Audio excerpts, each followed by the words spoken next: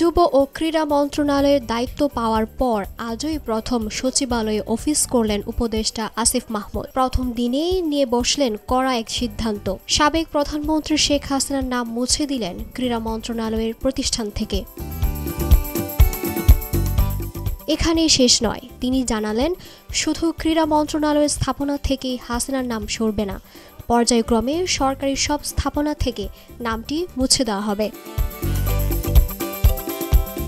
যুব ও ক্রীড়া মন্ত্রণালয়ের অধীনে ছিল শেখ হাসিনা জাতীয় যুব উন্নয়ন ইনস্টিটিউট। তার নাম বদলে ফেলার সিদ্ধান্ত নিয়েছেন আসিফ মাহমুদ। সংবাদ মাধ্যমের মুখোমুখি হয়ে তিনি তার কারণও জানিয়েছেন, যুব ও ক্রীড়া মন্ত্রণালয়ের অধীনে শেখ হাসিনা জাতীয় যুব উন্নয়ন ইনস্টিটিউট আছে।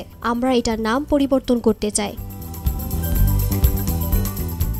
শুধু যুব উন্নয়ন ইনস্টিটিউট নয়, দেশের সব জায়গাতেই এটা করা হবে বলে জানিয়েছেন তিনি। যুব উন্নয়ন ইনস্টিটিউটের নতুন নাম কি হবে, আসিফ মাহমুদ জানান, সে জায়গা থেকে এটা শুধু আমাদের মন্ত্রণালয় না, সব জায়গাতেই এটা করা হবে। তো শেখ হাসিনা জাতীয় যুব উন্নয়ন ইনস্টিটিউটের নাম বদলে বাংলাদেশ জাতীয় যুব উন্নয়ন ইনস্টিটিউট করছে।